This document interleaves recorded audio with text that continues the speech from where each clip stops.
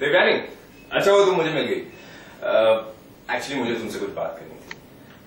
But then I was thinking कि कहीं तुम्हें बुरा ना लगा अरे नहीं लगेगा बताओ ना। यू नो व्हाट बात थोड़ी सी पर्सनल है इसलिए शायद तुम्हें बुरा लग जाए। अरे नहीं लगेगा बता तो दो।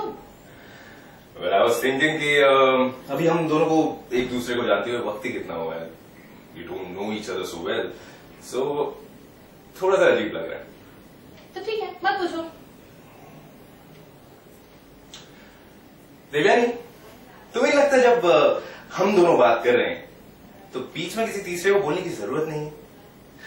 वेल एनीवेज पोस्ट में तीसरे इंसान की कोई वैल्यू नहीं होती है तो हम इतना क्यों सोचते?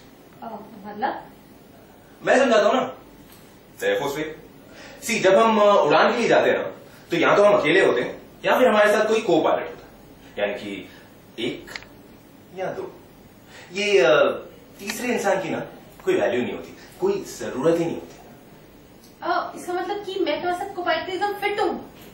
Fit in fact you perfect you eligible you know force को क्या चाहिए।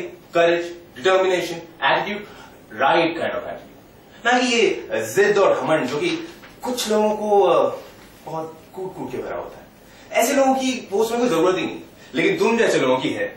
Because force needs open minded people straightforward people sportive active people and that's you you perfect you just perfect I am telling you ठीक है वो सब तो but तुम मुझसे कुछ और कहना चाहते थे राइट क्या कहना चाहता था पता नहीं तुमने कहा था कि कहीं मुझे बुरा बुरा न लगे एंड ऑल ओ या। कुछ कहना चाहता था बट यू नो व्हाट तुमसे मिलके मैं भूल ही गया कि तुम्हें क्या कहना था बट यार मैं याद करके आता हूँ हाँ?